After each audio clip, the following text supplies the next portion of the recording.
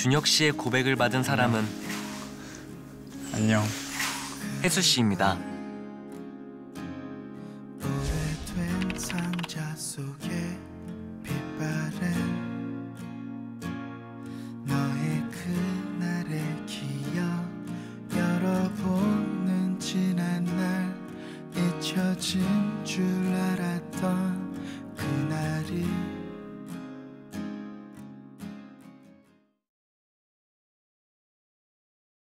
The second someone mentioned you were all alone, I could feel the trouble coursing through your veins. Feel the trouble coursing through your veins. Now I know it's got a hold. If you look into the distance, there's a house upon the hill, guiding like a lighthouse. It's a place where you'll be safe to feel our grace, cause we've all made mistakes. If you've lost your way, I will leave the light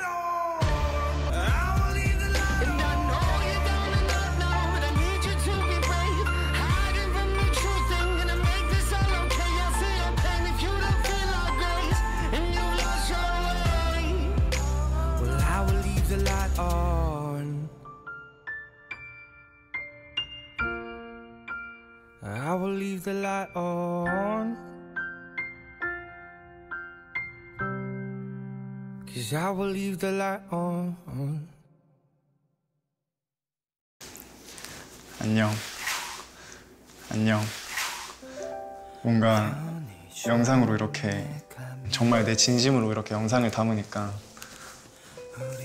음, 많이 떨리네. 우리가 이렇게 가까워지게 된 게 얼마 안 됐는데 벌써 끝이라니 너무 아쉬운 것 같아. 누나랑은 얘기도 많이 하고 싶었고 음, 시간도 훨씬 많이 보내고 싶었는데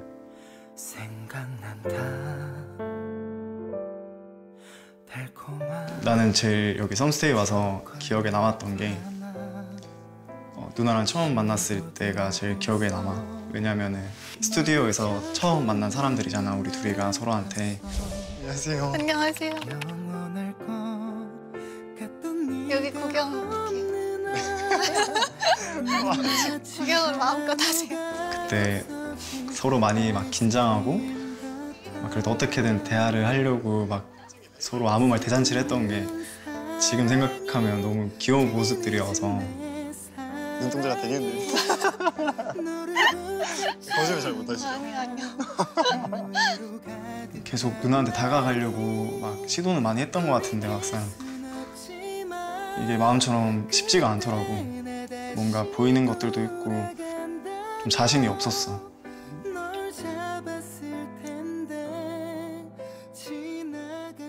되게 고민을 많이 했어. 언제 누나한테 가야 될지. 그래서 두 번째 썸뮤비 때 정말 용기를 내서 당황스럽겠지. 응. 그래서 그때 간 거야. 진짜 나는 같이 있을 때가 진심으로 행복하고 뭔가 온전한 내 모습이 나오는 것 같아서 고맙기도 했고 행복했어. 되게 누나랑 같이 보냈던 시간들이 나에게는 정말 소중하고 되게 값졌던 것 같아. 아 진짜 아 보이잖아. 쌀뜨물 아니야 이거? 누나는 웃고 있는 모습이 제일 이쁘니까 더 웃게 만들어 주고 싶고 뭔가 옆에서 좀 듬직하게 계속 있고 싶은 마음이 들어.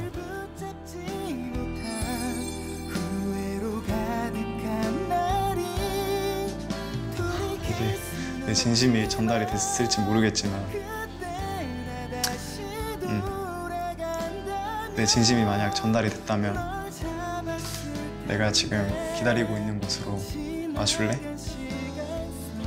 기다리고 있을게.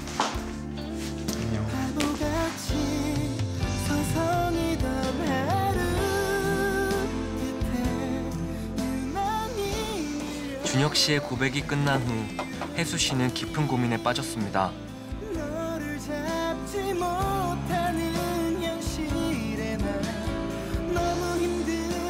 그녀는 과연 어떤 선택을 하게 될까요?